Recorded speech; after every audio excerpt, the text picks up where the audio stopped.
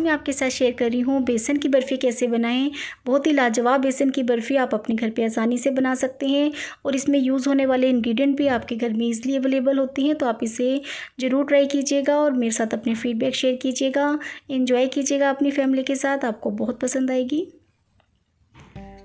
Hello friends welcome to M T kitchen आज मैं आपके साथ शेयर कर रही हूँ बेसन की बर्फ़ी कैसे बनाएँ, जिसके सबसे पहले हम एक चाशनी बनाएँगे। तो पैन में मैंने आधी कटोरी चीनी ली है और वन फोर कटोरी मैंने यहाँ पर पानी ऐड किया है इसमें। मिक्स कर लेते हैं इसको। अब हमने इसकी चाशनी बनानी है। एक तार की चाशनी जाएगी हमारी बेसन की बर्फ़ी में। तो इसको हम पकाएँगे दो से तीन मिनट तक। दो से तीन मिनट में हमारी चाशनी बन के तैयार हो जाएगी। तो मीडियम टू हाई फ्लेम पे मैं इसको पका रही हूँ।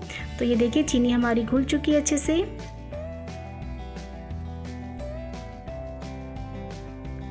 आप इस चाशनी में फ्लेवर देने के लिए कुछ भी ऐड कर सकते हैं, छोटी इलायची का पाउडर, रोज़ वाटर ऐड कर सकते हैं, केसर के थ्रेड ऐड कर सकते हैं, जैसी आपकी इच्छा हो।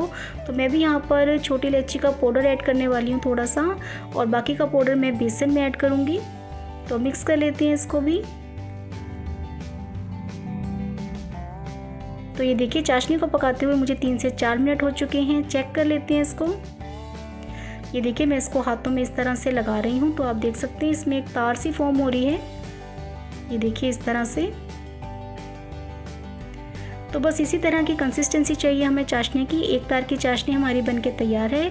अब हम इसको एक बॉल में निकाल लेंगे और ठंडा होने देंगे। अब हम बर्फ़ी बनाना स्टार्ट करते हैं। तो पैन में मैंने देसी घी ऐड किया है। यहाँ पर मैंने वन फोर कप देसी घी लिया है। अब हम इसमें बेसन ऐड करेंगे। तो एक कप के करीब बेसन मैंने इसमें ऐड किया है। आप इसकी सामग्री के मेज़रमेंट के लिए कोई भी कप या कटोरी ले लीजिएगा और उसी से सारा मेज़रमेंट कीजिएगा और जो इसका सामग्री जो भी इसमें डली है उसको मैंने डिस्क्रिप्शन बॉक्स में लिख के दिया है तो आप वहाँ से चेकआउट कर सकते हैं ताकि आपको बेसन की बर्फ़ी बनाने में बिल्कुल भी प्रॉब्लम ना हो। अगर आपको इसकी क्वांटिटी कम या ज़्यादा करनी है तो आप उसी हिसाब से उसका मेज़रमेंट सेट कर सकते हैं। तो हम बेसन को भूनेंगे। गैस की फ्लेम हमने लो टू मीडियम ही रखनी है। अगर आप हाई फ्लेम पे इसको भूनेंगे तो बेसन आपका कच्चा रह जाएगा अंदर से और बाहर से इसका कलर डार्क हो जाएगा। तो इस चीज़ का आप ध्यान रखिएगा। लो टू मीडियम फ्लेम पे हमने इसे भूनना है। तो भी आपको ये काफ़ी ड्राई दिख रहा होगा और जैसे जैसे इसमें आँच लगेगी, एकदम सॉफ्ट होता जाएगा और एकदम फ्लफ़ी बेसन हो जाएगा और अच्छा सा अरोमा आएगा इसमें से और थोड़ा सा कलर भी चेंज हो जाएगा। तो मैं कोशिश कर रही हूँ पूरी कि आपको स्टेप बाय स्टेप दिखाऊँगी किस तरह से इसका टेक्सचर और कंसिस्टेंसी चेंज हो रही है। तो आप देख सकते हैं, पहले से काफ़ी स्मूथ हो गया हमारा बेसन और थोड़ा सा फ्लफ़ी भी हो गया है। तो इसको हमने लगातार चलाना है और इस रेसिपी को बनाने के लिए आप नॉनस्टिक बर्तन का ही यूज़ कीजिएगा ताकि आपका बैटर बिल्कुल भी वेस्ट ना हो। तो ये देखिए, मैं इसको लगातार चला रही हूँ। इसमें सिर्फ़ बेसन को भूनने में ही थोड़ा सा टाइम लगता है, बाकी ये इंस्टेंट बर्फ़ी है, बहुत जल्दी तैयार हो जाती है। बेसन की बर्फ़ी को सेट होने में ज़्यादा टाइम नहीं लगता। तो ये देखिए, बेसन को मैं भून रही हूँ लगातार चलाते हुए और आप देख सकते हैं, थोड़ा कलर भी इसका चेंज हो गया है और थोड़ा सा फ्लफ़ी भी हो गया है ये। घी को इसने अब्जॉर्ब कर लिया अच्छे से।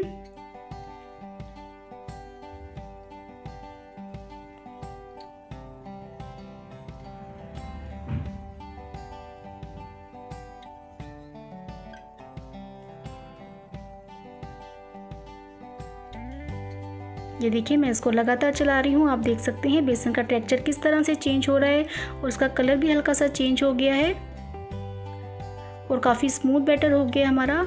अब मैं इसमें छोटी इलायची का पाउडर डाल रही हूँ, जो मैंने पहले बचा के रखा था। आधा चम्मच ऐड कर देते हैं इसमें। अब एक से दो मिनट तक मैं इसे और भून लूँगी।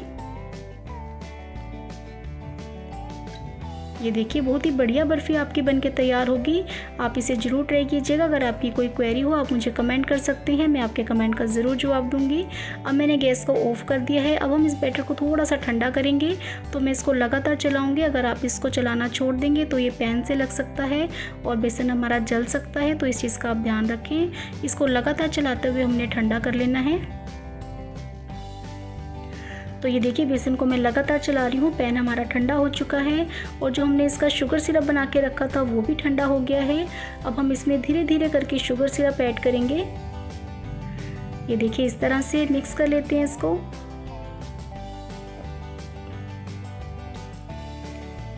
तो मैं बाकी का भी शुगर सिरप इसमें ऐड कर दूँगी। ये देखिए, सारा शुगर सिरप हमारा इस बैटर में चला जाएगा, क्योंकि मैंने आपको पहले बताया, जो मैंने आपको मेज़रमेंट बताया है, उससे हमारा शुगर जो है बर्फ़ी में वो भी परफेक्ट रहेगी और आपका मेज़रमेंट भी बिल्कुल परफेक्ट रहेगा। तो आप डिस्क्रिप्शन बॉक्स में देख सकते हैं इसका परफेक्ट मेज़रमेंट अब हम इसको सेट कर देंगे। तो मैंने एक बॉक्स में देसी घी ग्रीस करके रखा है, उसमें हम ये बैटर डाल देंगे।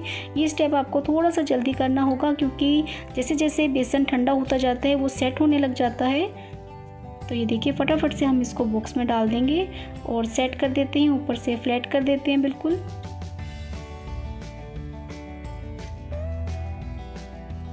ये देखिए, बेसन की बर्फ़ी को मैंने सेट कर दिया, अच्छे से एकदम फ्लैट कर दिया है। अब मैंने यहाँ पर कुछ बादाम लिए हैं, जिससे मैं इसको गार्निश करूँगी। आप कोई भी ड्राई फ्रूट से इसको गार्निश कर सकते हैं। इसको भी हल्का सा प्रेस कर देंगे ताकि बर्फ़ी के साथ ही अच्छे से सेट हो जाए। ये देखिए इस तरह से। अब हम इस बर्फ़ी को सेट होने के लिए रख देंगे। 15 से 20 मिनट में हमारी बर्फ़ी सेट हो जाएगी, उसके बाद मैं आपको दिखाती हूँ। ये देखिए बर्फ़ी हमारी सेट हो चुकी है, अब हम इसके पीस कट कर लेते हैं। ये देखिए आप देख सकते हैं बर्फ़ी का टेक्सचर मेरे को काट करते हुए कि किस तरह से ये सेट हुई है। ये देखिए बिल्कुल भी टूट नहीं रही है, बहुत अच्छे से हमारी बर्फ़ी सेट हुई है और खाने में भी बहुत ही मज़ेदार लगती है। तो आप इसके मन चाहे आकार के पीसीस कट कर सकते हैं। ये देखिए, मैं आपको छोटा सा पीस निकाल के दिखाती हूँ। ये देखिए, आप इसका टेक्सचर देख सकते हैं, किस तरह से हमारी बर्फ़ी एकदम स्मूथ सेट हुई है। तो सारे पीसीस निकाल लेते हैं इसके। तो ये देखिए, जो छोटा सा पीस था, मैं आपको इसे तोड़ के दिखाती हूँ। ये देखिए, बहुत ही मज़ेदार बर्फ़ी हमारी बन के तैयार हुई है और बहुत ही कम इंग्रेडिएंट के साथ। तो आशा करती हूँ आपको वीडियो पसंद आई होगी। वीडियो अच्छी लगे तो लाइक करना ना भूलिएगा। Thank you for watching M kitchen